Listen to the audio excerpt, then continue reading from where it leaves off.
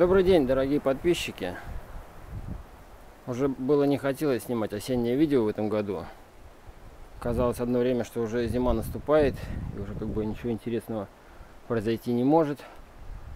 Но вдруг такие вот эти катаклизмы природные сменились, наоборот, вторжением теплых масс. И вот сейчас в ноябре у нас установилась такая прекрасная осенняя погода, похожая на бабье лето. Не знаю, не видно, наверное практически 14 градусов тепла. Что, как, конечно, весьма неожиданно. Я вот решил пройтись еще по огороду с небольшой экскурсией напоследок. Потому что немножко интересного все-таки еще мы можем увидеть. Но самое, что, конечно, удивительное сейчас, то, что цветут цветы. Эти осенние крокусы очень порадовали. Они такие перенесли минусовые температуры до 7 градусов опускался у нас мороз. А они вот цветут, как ни в чем не бывало. Очень приятно посмотреть напоследок на цветочки. Вот, это опунцевая грядочка. Туда я несколько видов мелколуковичных посадил.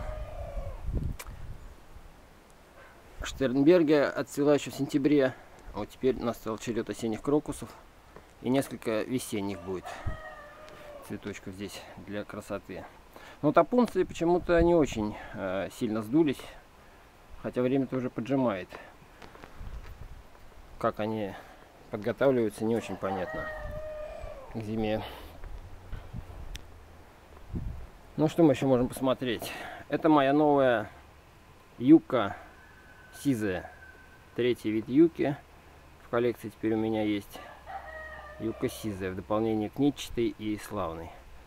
Ну, подросла за лето, но из очень маленькой она начинала стартовать. Ну, несколько новых листочков, но ввиду того, что они очень узкие, так особо массы не видать, но все равно приятно. Растет вроде бы неплохо.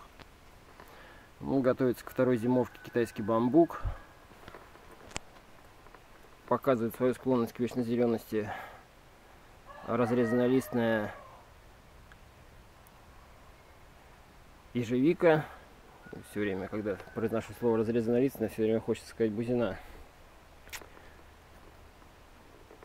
Лавандовая грядочка. Лаванда тоже хорошо себя чувствует. Готовится к зиме. Южные дубы. Дуб изменчивый. Тоже готовится ко второй своей зимовке. Но в этом году вроде бы лучше подготовился к зиме. Даже вот начинают листья желтеть. Вроде бы древеснение такое достаточно полное. Будем надеяться на успешную зимовку.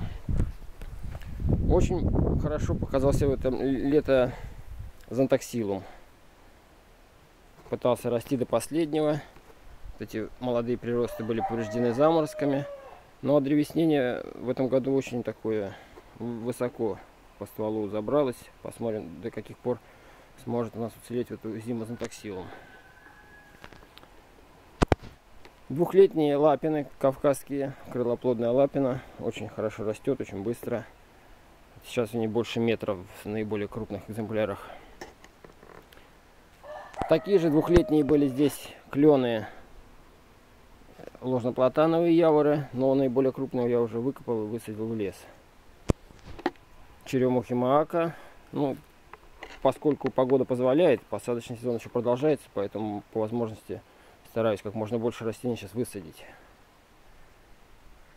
Это пихта сибирская и сосна Веймутова. Ну, это на продажу. Такая грядочка, потихонечку отсюда копаю. Продаю. Это остатки сосны жесткой. Редкая такая интересная коллекционная сосна, но вот все, что осталось от нее. Доцветает, ой, доцветает, э, сбрасывает листья во всей красе была недавно. Черемуха поздняя. Очень красивая в осеннем наряде была черемуха. Ну вот уже осень. Мискантусы колосятся. Еще долго будут украшать опустевающий сад. Жалко, уже не видно красоты ложнозибольдового клена. Молодые кленчики здесь радовали разноцветием листьев. Ну и хвойные рядом с ними. Кипарисы кнутканские кипарисы Келавсона.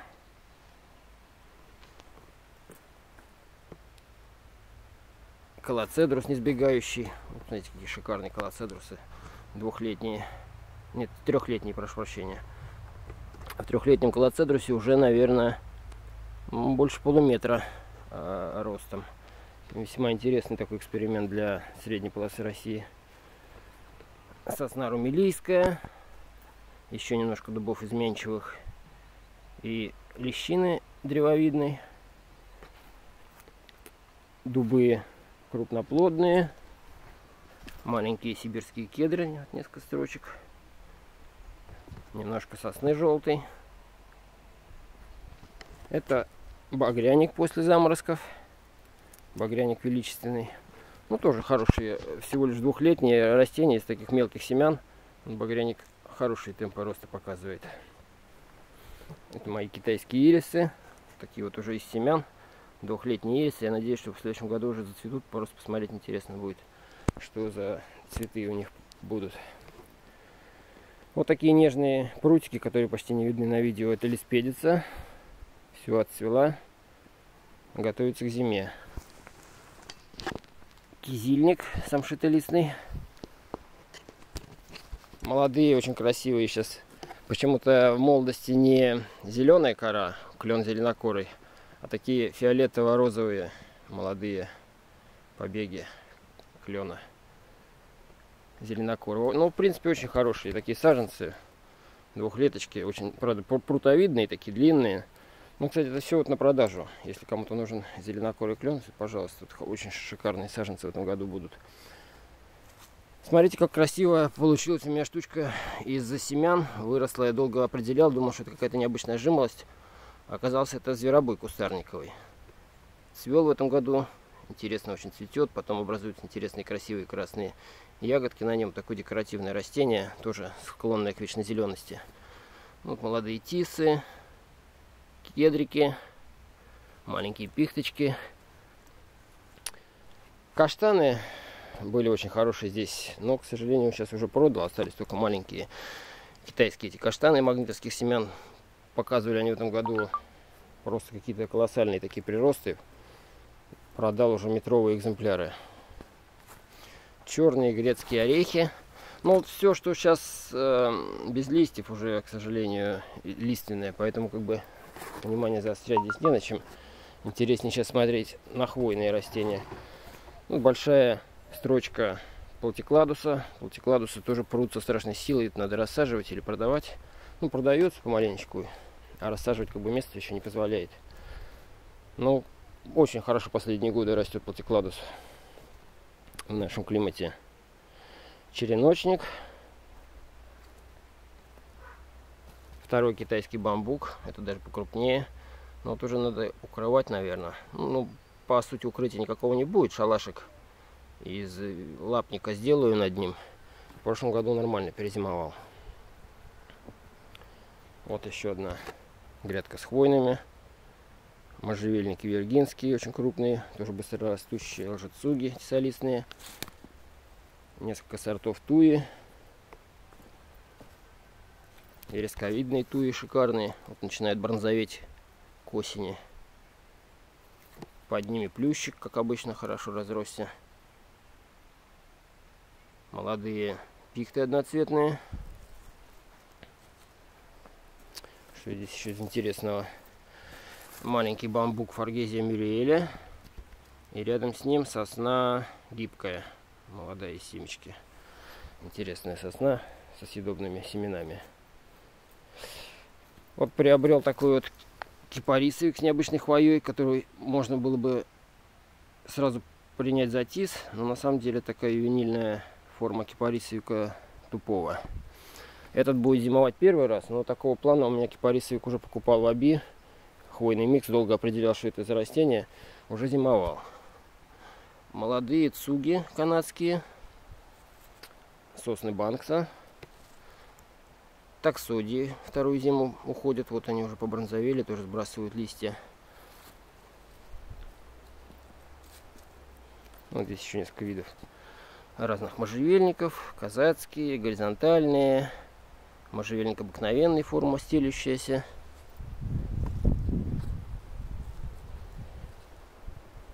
Из интересного вот первую зиму пойдет подокарп или многоплодник. Снежный подокарп, южное растение, не просто южное, из южного полушария.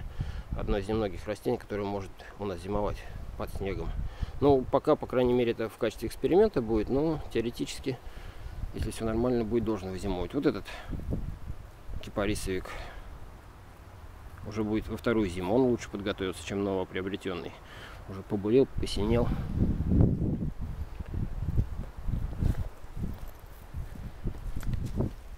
Вот так вот уходит в зиму хиномелис катаянский. Как и все южане, вот он немножко плохо подготавливается. В полной листве собирается уходить под зиму, обмерзает.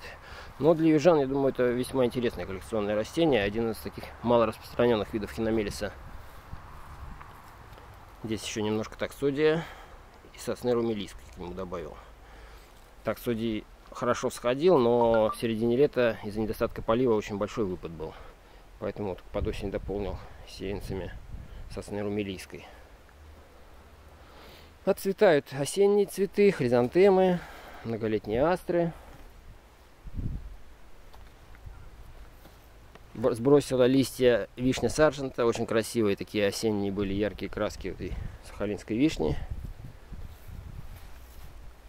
Это пихта кавказская или нортмана. Хорошая маленькая пихточка, растет медленно, но следов обмерзания никаких нет. Вот этим уже небольшим, вроде бы пихточкам уже четвертый год.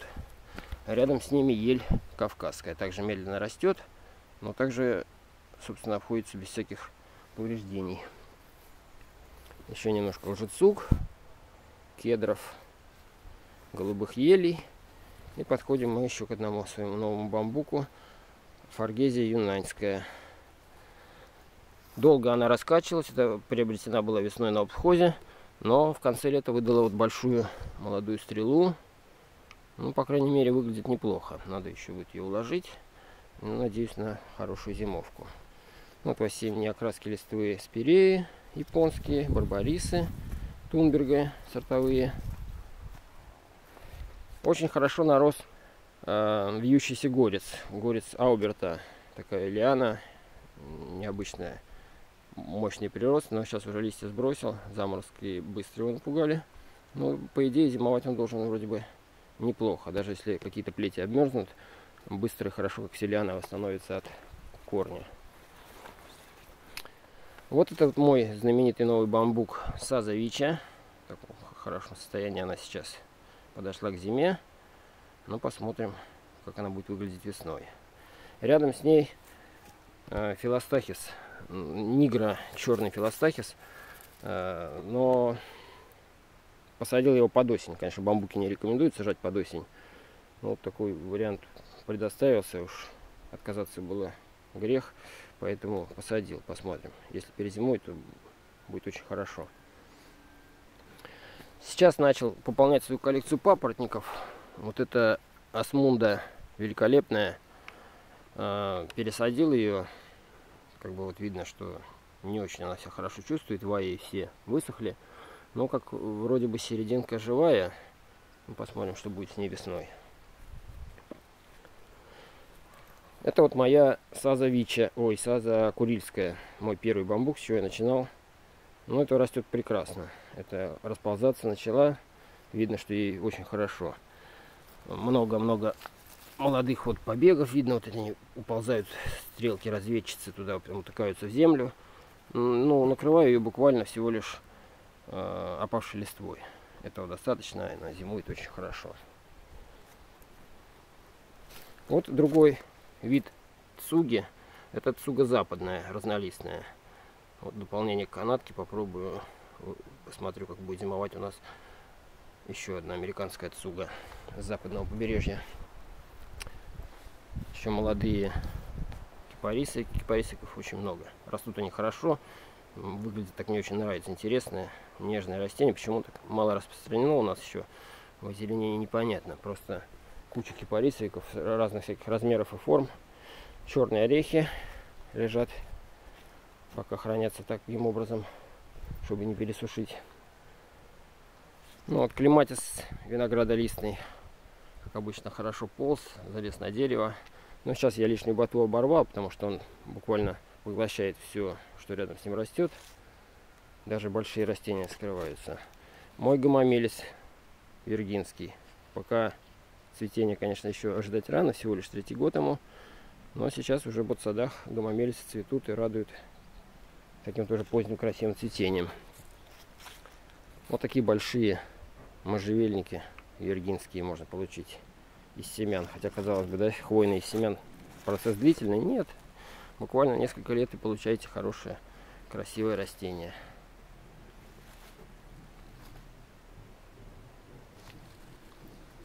Пузырник. Пузырник, вот плоды, цвел до конца лета. Не сказать, что очень какое-то декоративное цветение, похож на желтую акацию. Ну, вот необычные плоды, пузырчатые, крупные, такие бобы вздутые. Все равно интересное коллекционное растение. Пихта корейская. Тоже вот остатки былой роскоши. Такие огромные черемухи мака. Тоже, если успеем, может высажу еще в этом году. Крупноплодные дубы. Дубы из белой секции, когда мы не привыкли, что они как-то могут окрашиваться. Наш дуб черещатый или другие, там кавказские некоторые виды из этой секции – Э, осенние окраски, конечно, не примечательные, а вот американские виды вполне себе декоративные осенью. И дуб белый, и дуб двухцветный, и крупноплодный. В осенние окраски краснеют и довольно декоративно смотрятся. Актинидия каламикта уже полностью готова к зиме, полностью сбросила листья. Сбросила листья и Церсис канадский. Ну хорошо, я надеюсь на успешную зимовку. В принципе, он меня очень радует. Как перспективы хорошие, похоже, в нашем климате. Так что ждем цветения в ближайшие годы. Вот здесь было много новенького на этой грядке. Новые тоже для меня виды. Посмотрим, как они будут зимовать. Это лох э, многоцветковый. Нет, это лох, зонтичный лох, зонтичный акигуми. Ну, довольно южный лох со съедобными плодами. Посмотрим, как он будет расти. А лох многоцветковый, который гуми, я уже брал саженцем, он тоже будет зимовать первую зиму. Он покрупнее, посмотрим, как он перезимует. Эвкомия. Эвкомия вязолистная, это тоже достаточно южное дерево. Э, посмотрим гутоперчивый сок дает. Так, для коллекции весьма интересно. Вот сосна юнаньская очень хорошо взошла, но вот заморозки уже дали знать о себе. То есть, конечно, э, на перезимовку шансов у нее немного. Может быть, какие-то отдельные останутся сеянцы. Будем отбирать. Но южная очень сосна, это для, наверное, седьмой зоны как минимум, так рекомендации. Поэтому у нас в четвертой нашей шансов будет немного. Вот видите, уже листики сбросил. Лериодендрон тюльпаноносный, молодые сеянцы, где-то вот так вот это все было. Но, видимо, подготовились к зиме, раз листики сбросили. Надеюсь, не стал я их никуда убирать. Попробуем перезимовать их в открытом грунте. Вот, какие у нас еще тут интересности есть. Еще кипарисовики нутканские. Вот они такие пендулообразные. Симпатичные кипарисовики. Очень хорошо растут бобовники. Бобовник альпийский или ну, золотой дождь это обычно относит название к бобовнику анагеролистному. Ну и этот при хорошем э, раскладе весной очень декоративен. Богатое такое цветение кисти желтых цветов. Вот растет прекрасно.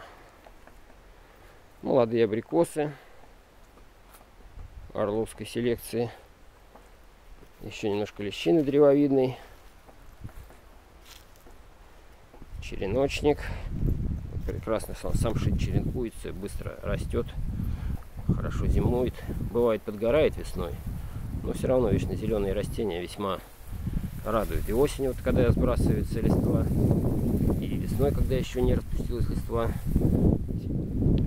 мало, конечно, ассортимент вечно зеленых растений, поэтому каждая на вес золота. Еще немножко дубов изменчивых. Несколько видов карий. Здесь для эксперимента будут первую зиму зимовать. Ну, карий уже сбросили, листьев практически не видно, поэтому смотреть тут особо нечего. Что еще интересного? Персики. Вот такие огромные уже персики у меня выросли. Вот это всего лишь двухлетний персик белорусской селекции. Рядом с ним персики просто из семян магазинах. Ну, что можно сказать? Магазинные персики, как более крупные, более южные, видимо, немножко страдают, обмерзают. Ну, очень хорошо устанавливаются. Вот двухлетние, вполне себе уже такого размера товарного. А белорус просто шикарен, он практически не обмерзает. Ждем цветения, ну и дай бог плодоношения. Скумпия кожевенная тоже в Орловской области себя показала прекрасно. Вот уже листики сбросила, но нарядные были малиновые такие красивые листики осенью. Хорошее растение, в принципе южное, но похоже, что пределов у него еще для продвижения на север не исчерпаны. Магония подуболистная. Но это будет зимовать с листвой. Как обычно она зимует хорошо. Кизил. Дюрин мужской. Темп роста невысокий, но растет без проблем пока.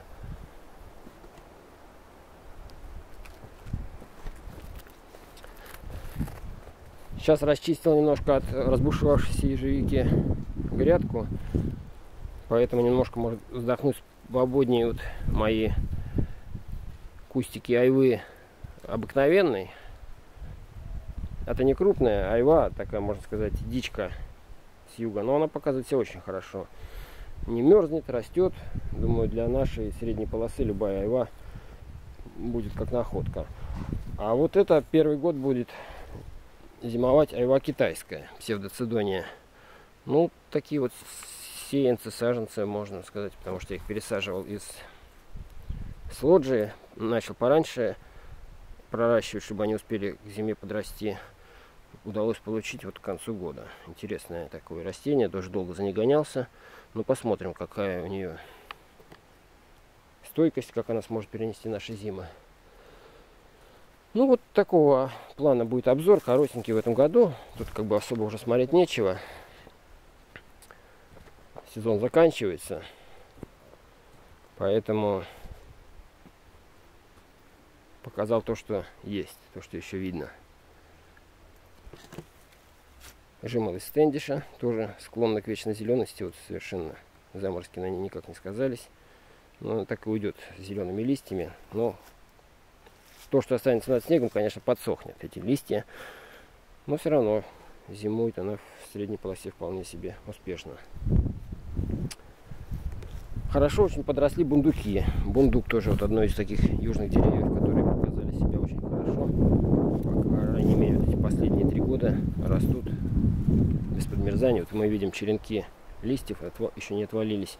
Такие огромные перистые листья, весьма декоративное растение. Вот, самые большие, наверное, ну, достигли полуметровой величины за два года.